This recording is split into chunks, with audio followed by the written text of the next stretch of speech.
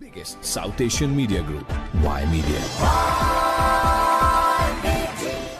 ਰਾਹੁਲ ਗਾਂਧੀ ਉਹਨਾਂ ਨੇ ਜਿਹੜੀ ਇਹ ਹੁਣ ਗਾਰੰਟੀ ਕੀਤੀ ਹੈ ਕਿ ਜੇ ਉਹਨਾਂ ਦੀ ਸਰਕਾਰ ਆਉਂਦੀ ਹੈ ਤੇ ਉਹ ਡੈਫੀਨਿਟਲੀ ਜਿਹੜੀ ਹੈ ਐਮਐਸਪੀ ਦੇ ਵਿੱਚ ਇਜ਼ਾਫਾ ਕਰਨਗੇ। ਇਹ ਗਾਰੰਟੀ ਦੇ ਵਿੱਚ ਕੀ ਦਾ ਮੈਂ ਇਹਦੇ ਬਾਰੇ ਵੀ ਗੱਲ ਕਰਾਂਗੇ ਲੇਕਿਨ ਉਸ ਤੋਂ ਪਹਿਲਾਂ ਕਿ ਅਸੀਂ ਇਹਦੇ ਬਾਰੇ ਗੱਲ ਕਰੀਏ। ਵਾਈ ਮੀਡੀਆ ਪੋਲਿਟੀਕਲ ਸੈਂਸੈਕਸ ਦੇ ਵਿੱਚ ਅਸੀਂ ਅਹ, ਤੁਹਾਡੇ ਲਈ ਅਪਡੇਟ ਸ਼ੇਅਰ ਕਰ ਰਹੇ ਹਾਂ ਕਿ ਜੋ ਅਲਾਈਅੰਸ ਦੇ ਵਿੱਚ ਹੁਣ ਦਿੱਕਤਾਂ ਹੋਰ ਵੱਧ ਰਹੀਆਂ ਨੇ ਆਮ ਆਦਮੀ ਪਾਰਟੀ ਨੇ ਅੱਜ ਕੈਂਡੀਡੇਟਸ ਅਨਾਉਂਸ ਕੀਤੇ ਨੇ। ਦੋ ਕੈਂਡੀਡੇਟ ਆਮ ਆਦਮੀ ਪਾਰਟੀ ਨੇ ਗੁਜਰਾਤ ਦੇ ਵਿੱਚ ਅਨਾਉਂਸ ਕੀਤੇ ਨੇ ਔਰ ਇੱਕ ਕੈਂਡੀਡੇਟ ਜਿਹੜਾ ਉਹ ਗੋਆ ਦੇ ਵਿੱਚ ਅਨਾਉਂਸ ਕੀਤਾ ਗਿਆ।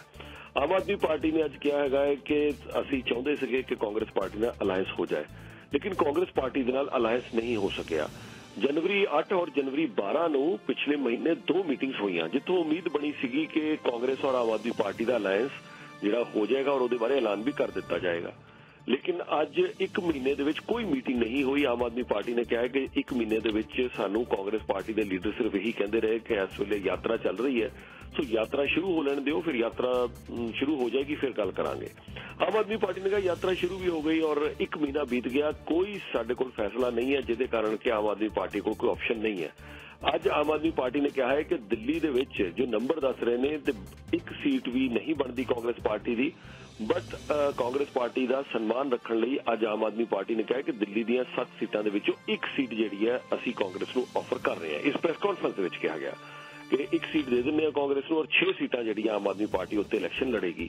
ਯਾਦ ਰਹੇ ਕਿ ਇਸ ਤੋਂ ਪਹਿਲਾਂ ਜੋ ਅੰਦਰ ਤੋਂ ਖਬਰ ਆ ਰਹੀ ਸੀਗੀ 3-4 ਦਾ ਫਾਰਮੂਲਾ ਵਰਕ ਕੀਤਾ ਜਾ ਰਿਹਾ ਸੀਗਾ, ਜਿਹਦੇ ਵਿੱਚ ਕਿ ਆਮ ਆਦਮੀ ਪਾਰਟੀ 3 ਸੀਟਾਂ ਤੇ ਲੜਨ ਦੀ ਗੱਲ ਕਰ ਰਹੀ ਸੀਗੀ ਔਰ ਕਾਂਗਰਸ ਨੂੰ 4 ਸੀਟਾਂ ਆਫਰ ਕਰ ਰਹੀ ਸੀਗੀ। ਸੋ ਉਹਦੇ ਤੇ ਡੀਲ ਨਹੀਂ ਬਣੀ। ਜਦੋਂ ਕਾਂਗਰਸ ਨੂੰ 4 ਸੀਟਾਂ ਆਫਰ ਹੋ ਰਹੀਆਂ ਸੀਗੀਆਂ, ਉਹਦੇ ਤੇ ਡੀਲ ਨਹੀਂ ਬਣੀ, ਲੇਕਿਨ ਅੱਜ 4 ਸੀਟਾਂ ਤੋਂ ਘਟਾ ਕੇ ਅੱਜ ਪ੍ਰੈਸ ਕਾਨਫਰੰਸ ਦੇ ਵਿੱਚ ਆਮ ਆਦਮੀ ਪਾਰਟੀ ਨੇ ਐਲਾਨ ਕਰ ਦਿੱਤਾ ਕਿ ਸਿਰਫ ਇੱਕ ਸੀਟ ਅਸੀਂ ਦਵਾਂਗੇ। ਕਾਂਗਰਸ ਪਾਰਟੀ ਨੂੰ ਦਿੱਲੀ ਦੇ ਵਿੱਚ 6 ਸੀਟਾਂ ਆਮ ਆਦਮੀ ਪਾਰਟੀ ਲੜੇਗੀ। ਹੁਣ ਜਦ ਪੱਤਰਕਾਰ ਪੁੱਛ ਰਹੇ ਨੇ ਕਿ ਜੇ ਡੀਲ ਇਹ ਵੀ ਨਹੀਂ ਹੋਈ, ਤੁਸੀਂ ਚਾਰ ਆਫਰ ਕਰ ਰਹੇ ਸੀ, ਉਦੋਂ ਡੀਲ ਨਹੀਂ ਬਣੀ, ਹੁਣ ਤੁਸੀਂ ਇੱਕ ਆਫਰ ਕਰ ਰਹੇ ਹੋ, ਤਾਂ ਖਬਰ ਆ ਰਹੀ ਹੈ ਕਿ ਉਹਨਾਂ ਨੇ ਜਵਾਬ ਤਾਂ ਨਹੀਂ ਦਿੱਤਾ, ਪਰ ਉਹਨੇ ਇਸ਼ਾਰੇ 'ਚ ਕਿਹਾ, ਫਿਰ ਕਿ ਸੱਤ ਦੀਆਂ ਸੱਤ ਸੀਟਾਂ ਤੇ ਹੀ ਆਮ ਆਦਮੀ ਪਾਰਟੀ ਇਲੈਕਸ਼ਨ ਲੜੇਗੀ। ਯਾਦ ਰਹੇ ਕਿ ਕੇਜਰੀਵਾਲ ਸਾਹਿਬ ਪਹਿਲਾਂ ਹੀ ਬਿਆਨ ਦੇ ਚੁੱਕੇ ਨੇ ਕਿ ਦਿੱਲੀ ਦੀਆਂ 7 ਸੇ 7 ਸੀਟਾਂ ਜਿਹੜੀਆਂ ਉਹ ਆਮ ਆਦਮੀ ਪਾਰਟੀ ਜਿੱਤੇਗੀ। ਪੰਜਾਬ ਦੀਆਂ 13 ਦੇ 13 ਸੀਟਾਂ ਦੇ ਉੱਤੇ ਵੀ ਇਕੱਲੇ ਹੀ ਲੜਨ ਦਾ ਐਲਾਨ ਜਿਹੜਾ ਉਹ ਹੋ ਚੁੱਕਾ ਹੈ। ਸੋ ਇਹਦੇ ਨਾਲ ਕਿਆ ਆਮ ਆਦਮੀ ਪਾਰਟੀ ਔਰ ਕਾਂਗਰਸ ਦੇ ਵਿੱਚ ਹਰਿਆਣਾ, ਪੰਜਾਬ, ਦਿੱਲੀ, ਹਿਮਾਚਲ ਜਿਹੜੇ ਅਲਾਈਅੰਸਿਸ ਦੀ ਗੱਲ ਹੋ ਰਹੀ ਸੀ ਕਿ ਉਹ ਨਹੀਂ ਹੋ ਰਹੇ?